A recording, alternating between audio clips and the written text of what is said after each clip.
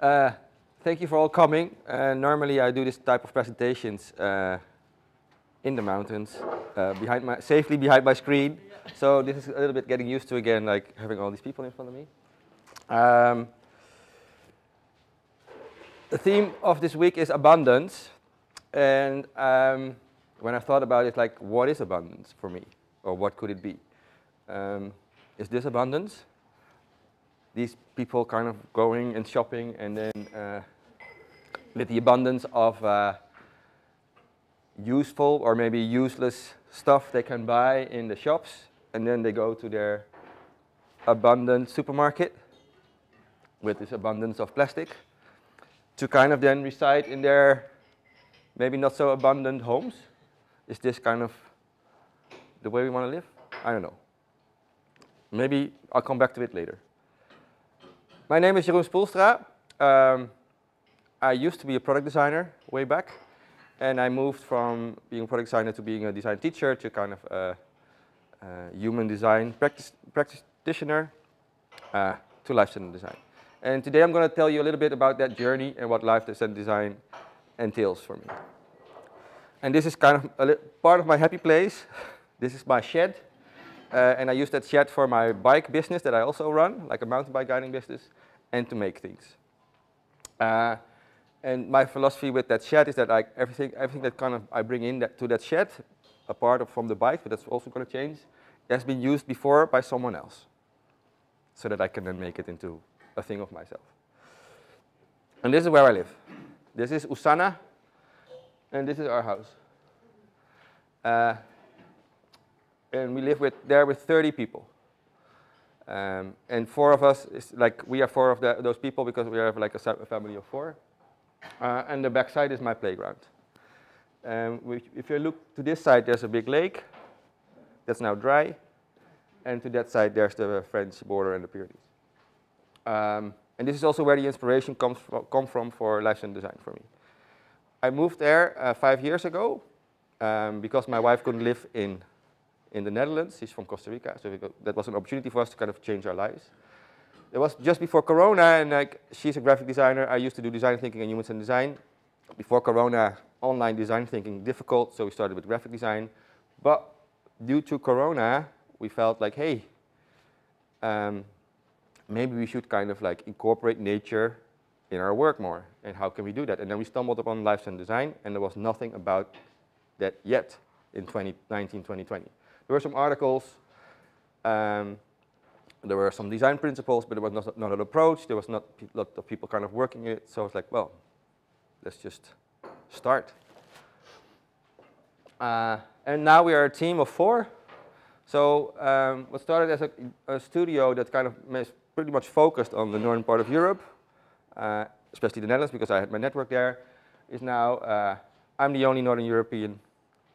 Uh, Marcia is from Costa Rica, Alejandra is from Spain, also from the north part of Spain, and uh, Alberto is from Peru.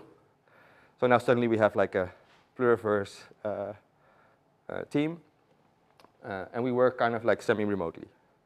Because Alberto lives in Rome, um, and he, he also lives in Peru part of the time, so we kind of try to um, do, sometimes he comes here to, to our place, but like we mostly do it remotely. And this is our dog, Jago. So what is life-centered design? Um, to me, it's a design philosophy and approach that goes beyond human needs, where humans and design focus on the needs and uh, maybe more the wishes of humans. Uh, life-centered design goes beyond that, to really put the life in the center of our creation. Um, and it advocates for biological ecosystems and, and non-users, a little bit the underdogs in the, in the society. Um, and there are many. Um, and the long-term goal, I believe, is kind of to restore uh, the biolo biological ecosystems and kind of restore the balance between humanity and nature. We are, part of nature, but we kind of lost that.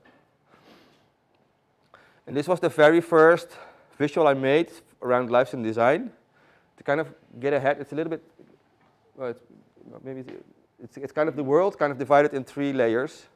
We have a, uh, the, the, the green one is like a biological ecosystem.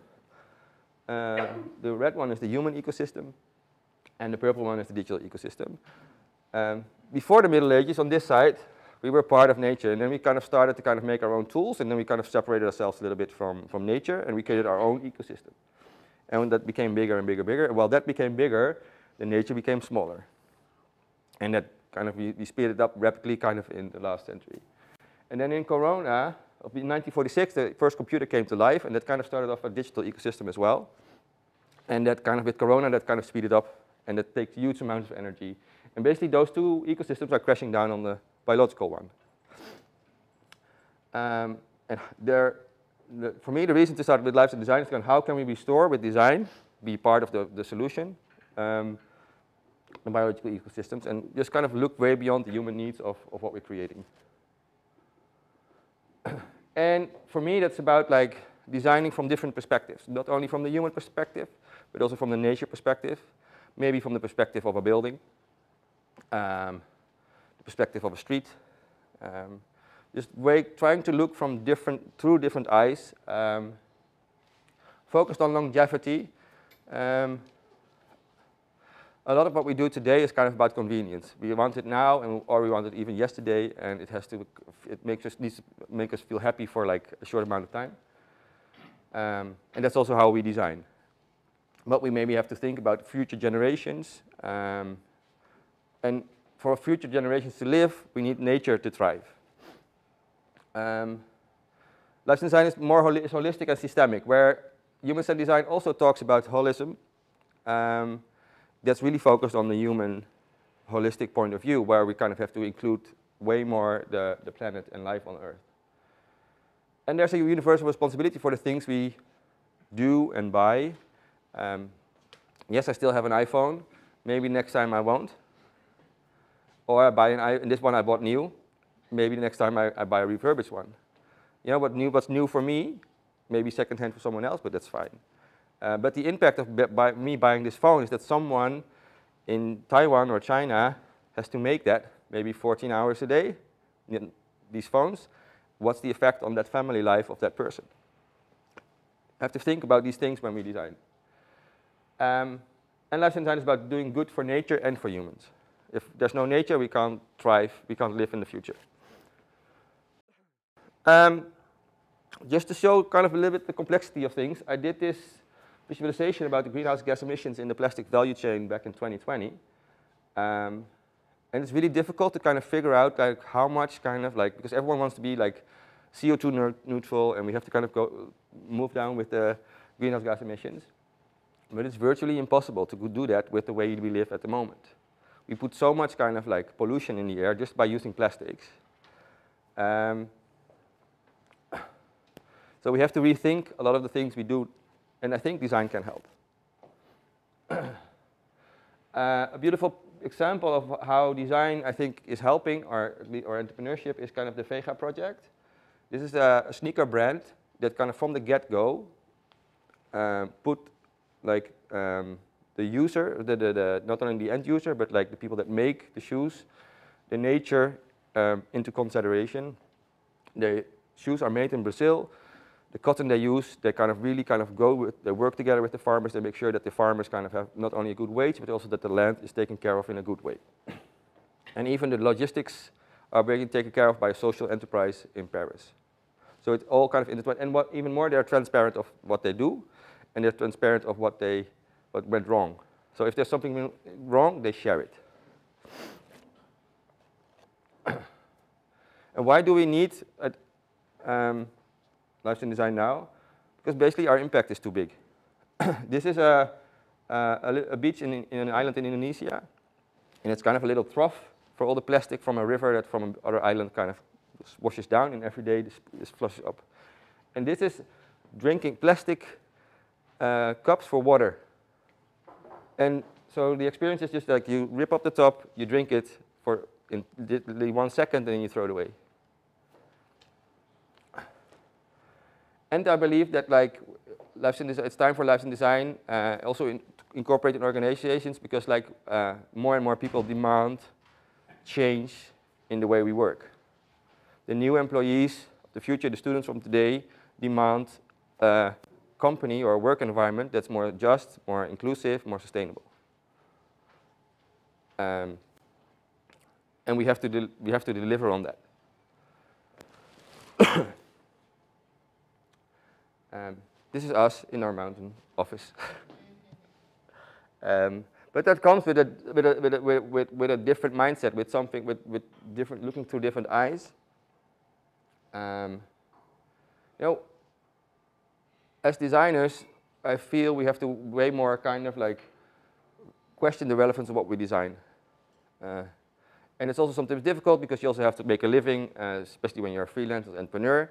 Um, but can you kind of like or push back your client or can you work with your client say like, hey, what we have to design, if this is the questions I get, I think we have to be more sustainable, more just, and I think we can do it in this way and you can still have a good product or service.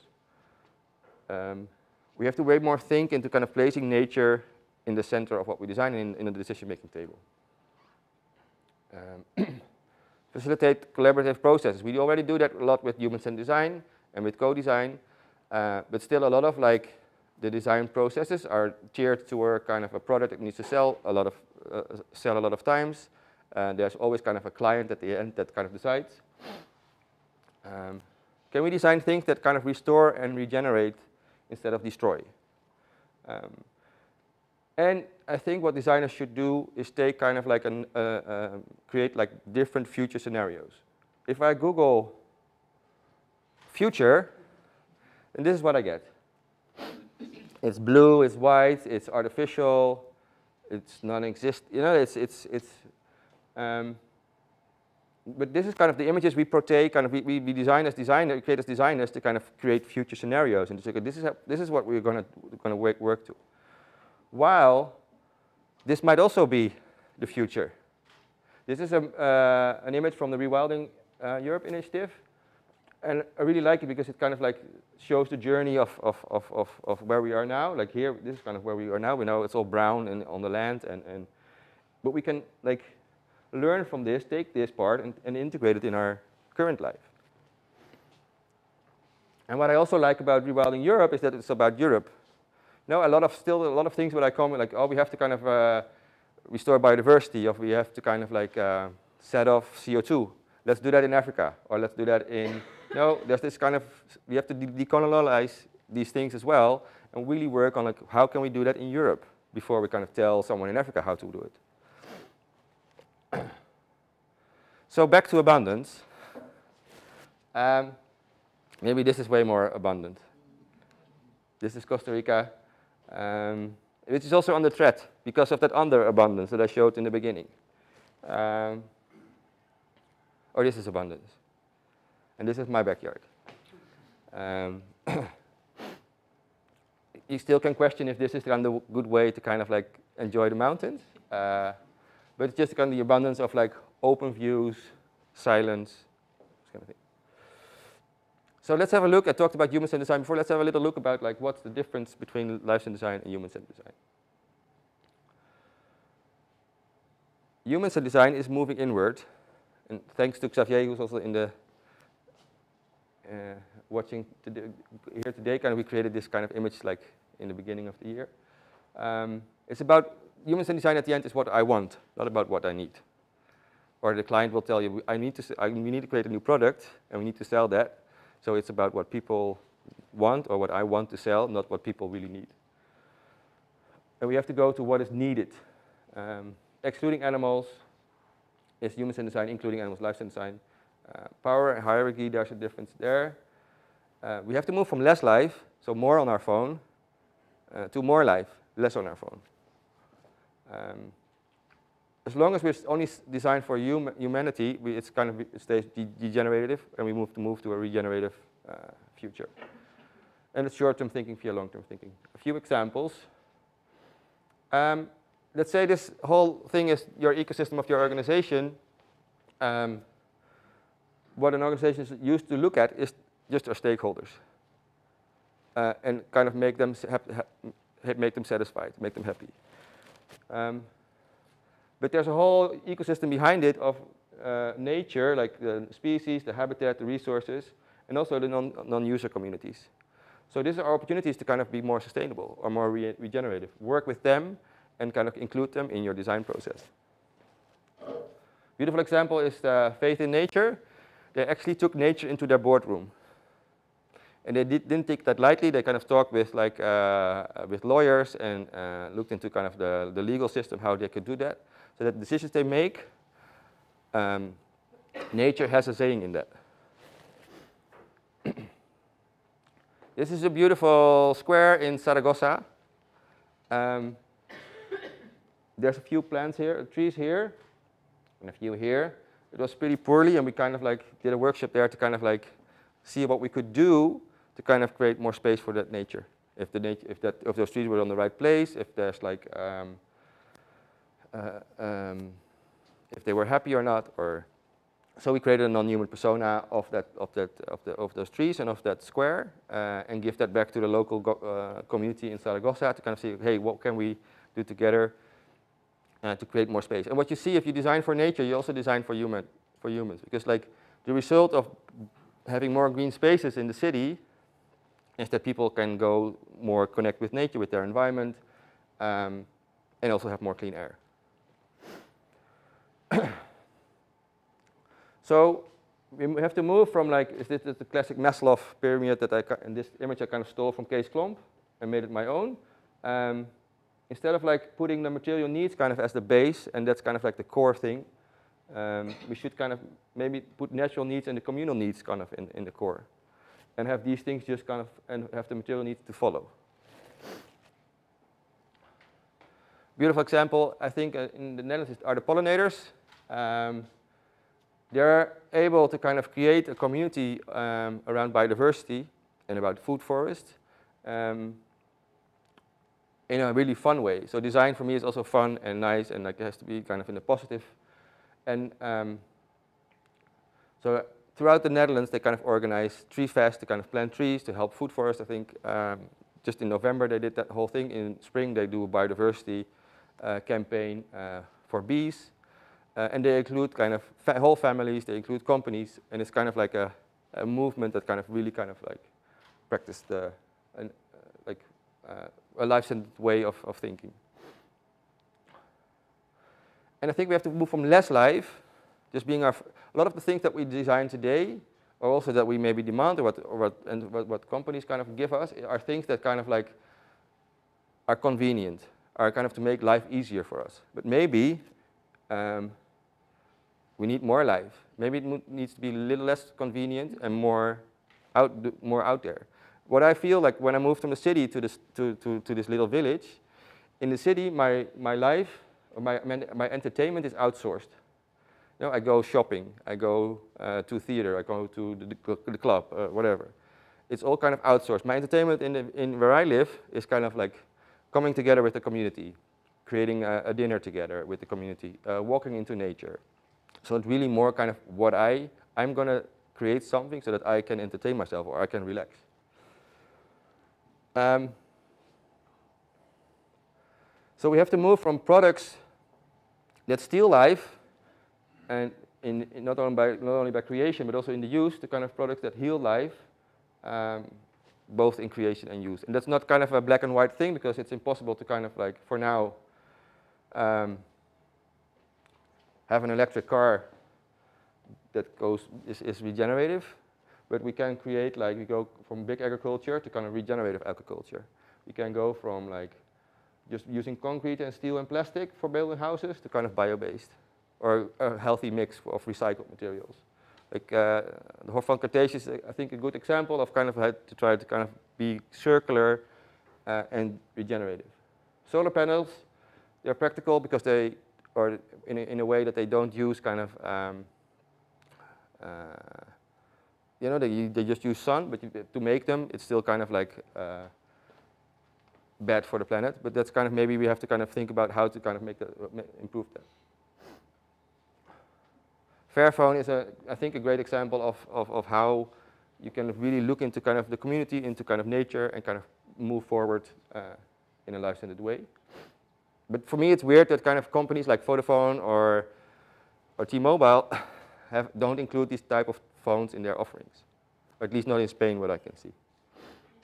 And I think we should kind of maybe have less design sprints and more design walks. um, And I'm not sure if that's because I live in nature now that I kind of here. Okay. Uh, it's not maybe because I live in nature now um, that everything moves slower, but maybe we have to be more considerate about the things we design. And we don't need, to, I used to kind of like put like, uh, if I did a workshop, I put like, I don't know how much candy kind of in, these, in, in my in participants to get them like super hyper and, uh, and so they spit out as many ideas as possible. um, but now when I, I, want to, I want to kind of design with my team, I go outside. I don't need an energizer because we kind of are in the, in the right energy when we're, at the moment we're going outside. And we have considered talks and we, and we write down and we, and we draw, but in a slower pace. And we let ideas sink and we pick them up two weeks later. Um, to kind of make sure that the kind of the ideas we work on that they're more considerate. You know, last week I had like students from Fundamentals Academy, and I just thought, I taught them, go, go for a hike and ideate. And I don't want 60 ideas. I want five but I want five good, you know, five ones, five that are kind of considered, that we thought about, um, and that showed in the result. Another thing, so there's a user experience, and often that's pretty short. But on the back side of the user experience is someone is a non-user experience. Example, um, the village where I live is very beautiful. My, my neighbors live there for five, six, seven generations, I don't know. Very old house, very beautiful garden. In the summer, it's very touristic. So a lot of people walk into that garden and sometimes even walk into that house. If that happens once, that's fine. You know, that's kind of like, it's an, for the tourist, for the, for the tourist, it's like an encounter of one minute. If that happens the whole summer, that's a thousand people walking through your garden. When we don't think about these things, and we, when we design for a tourist destination, we don't think about the effects, what happens in the local community. Same happens with the nature experience. If I want to make a fire from, I cut down one tree, I have to dry the tree a bit, but then I have maybe like a, like a three hours, three hour of fire, let's say that. But that open space in the forest takes maybe 50 years, 100 years, or even longer to grow back. That doesn't say that we don't can cut the tree, but uh, a, forester friend of mine in, in Ainsa says like when I, he re is really focused on, on bringing biodiversity back in also these kind of agri-forestal places. Like when I cut a tree, I think about, I think through the eyes of the forest. I think in the time of the forest and then I'm going to cut it. Because then I need to find, if I maybe cut this one, then like at least other species can, can thrive or grow. Life-centered design process when I started, and then you can go really wild I think uh, Jim, you were you joined. I did like a, a, tool test the other day, and Jim joined also in the process. So we tried to kind of design everything kind of as open as possible. Um, and then I came up with a process that's maybe not that much different from the Stanford design thinking process. Um, but what's more what happens in the process. So it's like uh, we have to empathize with the ecosystem way more. So that's kind of including the life when we define something, we have to really define into system, systemic challenges. Um, we have a lot of online discussions about the, the, double diamond and if that's useful or not. And um, what I discover is that when you, look, when you design for a system, there's never one problem statement. There's always more problem statements. And that made me think back to my product design years when you are taught to, to in, when you do a, when you design for a product, you have to think about all these different elements that come where that, that are in a product. Cost price, shape, uh, material use, production. There's a, a lot of different uh, problem statements to solve. And actually the same happens with um, life-centered design. And may, maybe design thinking or human centered design became a little bit too much kind of there's one clear uh, problem statement and we're going to solve that and if we solve that then we have so we solved everything then I believe that we have to kind of design collaboratively with nature, in co-design with nature, and in co-design with the community. Um, when we've done that and we've tested things in the wild, we, you have to iterate, kind of the, the, the idea. But iterate in a conscious way, uh, because iterating can also lead to kind of like more efficiency that's maybe not needed to kind of really uh, help the planet forward. And then it has to kind of come to life, then your design And regeneration is not a fixed thing at the start when it has to be regenerated, but it should be kind of a goal to kind of like see where, how much can we regenerate and how much can we not regenerate and what, but, but how can we make the impact as, less, uh, as little as possible. So what do I do at the moment? So this year I've been doing, trying to kind of think about all these things. And until June, I didn't really have an offering or, so I was just kind of experimenting, developing. Um, and now with our team, we're kind of more close to kind of what we think we should do as, uh, as a studio and also with the, with, the, with the skills we have. So we do one part education. That's also because I kind of had one foot in education always, and I like to kind of uh, work with people. And we're going to do like a life-centered design fundamentals course, um, creating non-human personas, and there will be a retreat in the mountains. Um, and we do that on the umbrella of the life-centered design school. Uh, which will kind of start in, so we will launch the school next week or the week after, and then the program start in January. Um, next to that, we do workshops, but it's um, where we help organizations and teams understand the impact on their ecosystem and create sustainable and regenerative strategies. Again, maybe not too wild when it comes to kind of like business models or totally new things, but kind of the life-centered design is already pretty new, so we want to kind of keep it close to what we what we know. Um, and but what we do, and what I also did with students when I worked at the half, yeah, when there was an opportunity to take students outside, take them outside. So when there's an opportunity to kind of take workshop participants outside, go outside because that's where life happens, not only for humans in design, but also for life in design. and we want to start something with an open Unbeaten Studio challenges, similar to Open IDEO. So we want to kind of take on like a crowdsourcing way of designing solutions in a life-centered design way. And that's kind of under development. And we did one before, and that was with our local um, community in Ainsa. Ainsa has a really big kind of red Natura uh, um, space.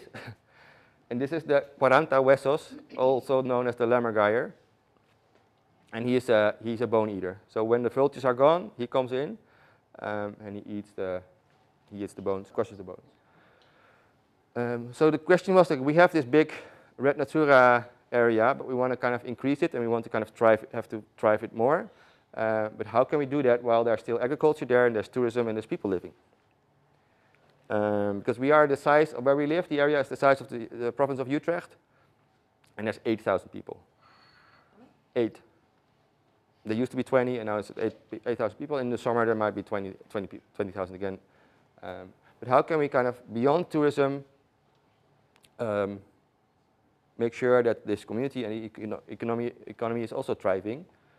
Um, so basically, we kind of invited everyone, like as many people from what we could find from different types of stakeholders, hunters, uh, organic farmers, non-organic, traditional farmers, tourist, traditional tourism, uh, ecotourism, everyone, we invited them in uh, for a few sessions.